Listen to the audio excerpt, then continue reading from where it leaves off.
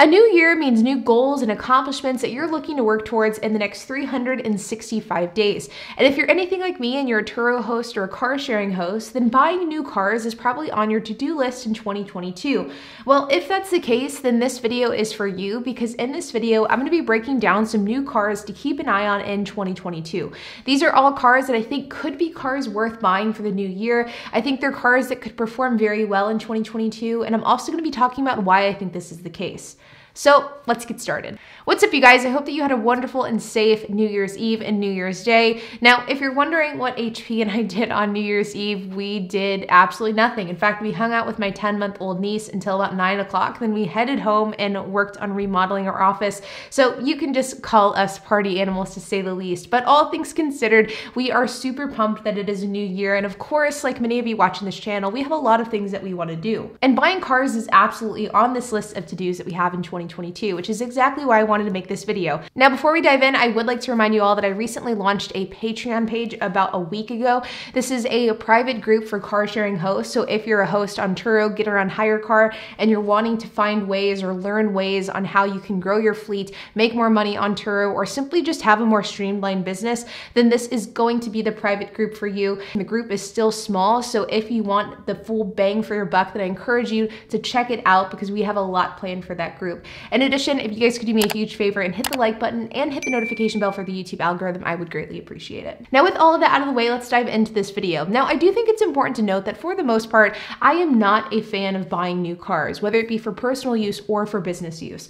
The reason is, is because if we look at a depreciation chart, you can see that cars depreciate the most within the first five years, which means that a car is going to lose most of its value within five years of it being a new vehicle. And so because of that, if you buy a new car, you are going to lose a lot of money in that first five years. Whereas if you buy a car after that five year mark, or in some cases, seven year mark, you can really cut a lot of those losses out because of the fact that you bought that car at the lowest point in the depreciation curve. If you buy a car that's brand new and that car was to get totaled, or if that car was to get damaged, you're going to lose a lot of money on the depreciation of that vehicle. But if you buy a car that is at the lower point in the depreciation curve, for example, a 2010, a 2011 car, then you can actually make money whenever it comes time to sell or if that car gets totaled.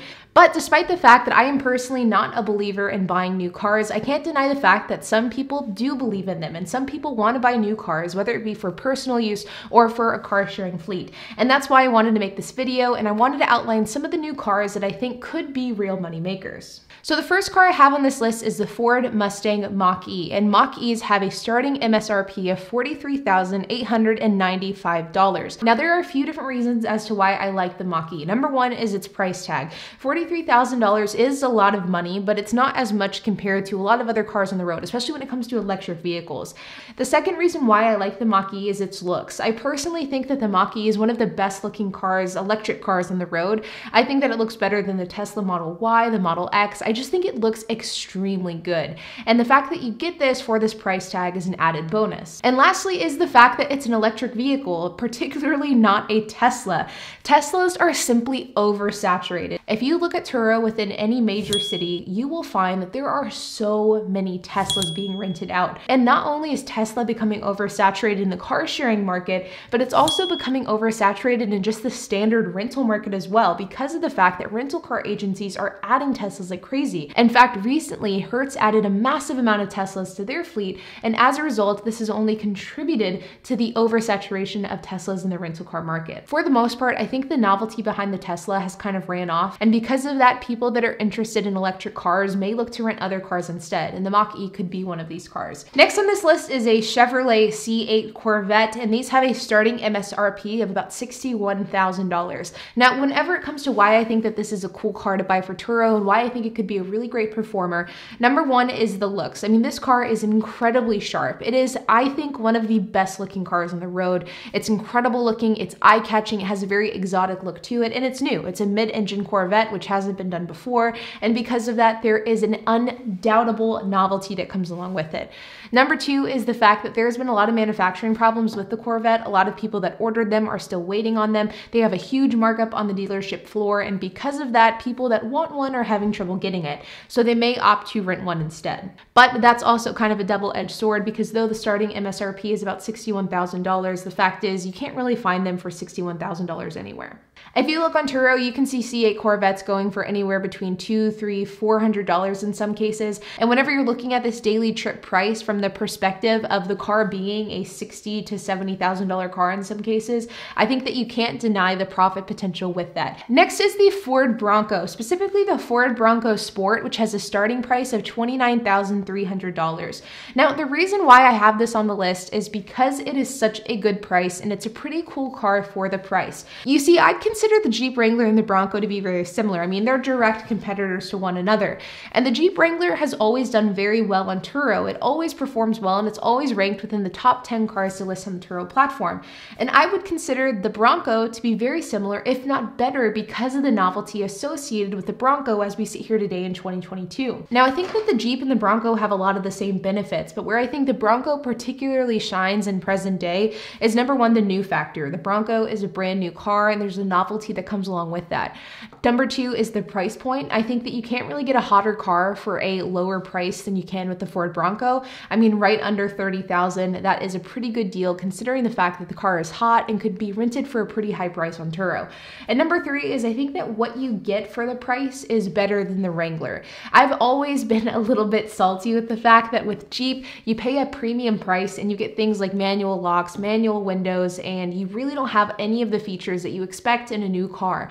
And with the Bronco, you get some of those features that you wouldn't get in the Jeep. And I think that that's a big benefit. Next is the Ford F-150 Lightning, which is the very first electric pickup from Ford. Now, I hate to include another Ford onto this list, but I have to give credit where credit is due. The Ford Lightning is a sharp car and it has a lot of use. The Ford Lightning starts at $42,000, which is a lot of money, but all things considered, I think is a pretty good deal because of the fact it is a 100% electric car. It also has a lot of novelty to it as well. For example, it can power a house with its battery power. And of course, it is one of the, if not the first mainstream pickup truck that will be entering the road. I think that this car will do really well in Turo because number one, there's of course a novelty with it. It's the first electric pickup truck hitting the road. And I think a lot of people will be curious how this car works. Number two is the fact that while the Cybertruck has been getting pushed back time and time and time again, I think there are people who are looking for an electric truck that may want to explore other options and they may want to rent the Lightning in order to give it a test drive, see how they like it, and see if they'd want to buy one themselves.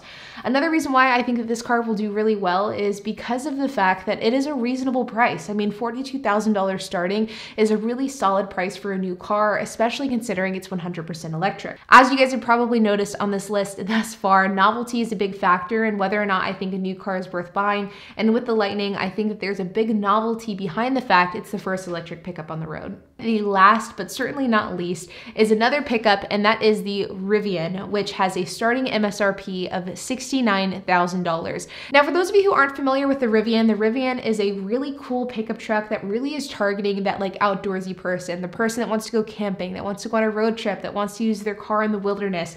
It really is kind of going after a different demographic than the Lightning. I think the Lightning is going after kind of that more traditional pickup owner, while the Rivian is kind of going after more of that Jeep owner, that person who wants to use their car to go out into the outdoors. Now, why I think this car will do well on Turo, number one is the novelty of it. It's a brand new car. We've never seen it on the road. It looks like nothing else that's on the road. So there is a real novelty that comes along behind that. Number two is this is kind of the most Tesla-esque car that we've seen since Tesla. I think that one of the big benefits of Tesla back in the day was the novelty behind the features, the big screen, the ability to do self-driving or the at least prospect of it in the future, the look of the car, everything was new. And the same can be said with the Rivian. It has a bunch of new features that you simply don't see on normal day-to-day -day cars. And because of that, I think that there'll be a large market of people who want to try out this car on Turo. The only downside behind the Rivian is because of the fact that it's a brand new make and model, there may be a limited number of people who would be interested in renting this car because it's so new. People won't be familiar with it and thus they won't want to rent it. But the people who would want to rent it would be willing to pay a premium price. And because of that, that could potentially offset the lower pool of renters to choose from. Now, like I said at the beginning of this video, I don't think it's a good idea to buy new cars for the sake of renting them out on Turo. And I personally wouldn't add any of these cars to my fleet because of the fact that depreciation would just kill your profit margin. But I do think that if you're somebody who is interested in any of these cars that I've talked about in this video, and you're interested in owning one, driving it for personal use, and finding a way to offset the car payment, I think that all of these cars could be really good performers on Turo. They all have a novelty behind them. They're all new. They're all sharp. They're all kind of reasonably priced depending on the lens that you look through them in. I think all in all, these could be really solid bets if you're somebody who's wanting to find that balance between finding a car that you can enjoy yourself while making some money by owning that car. Like always, you guys, I hope that you enjoyed this video and I hope it gave you some insight into some of the new cars you could look for in 2022. If there's any other cars that I didn't talk about that you think could be really good performers on Turo, then leave a comment down below because I'd love to hear it. These are some of the ones that I think could do well, but I would love to hear your thoughts too. Like always, if you have any questions, comments, if you have anything to add, I would love to hear it. So make sure to leave a comment down below. And while you guys are at it, make sure to hit the like button, hit that subscribe button, and hit the notification bell. And I will see you guys in the next video.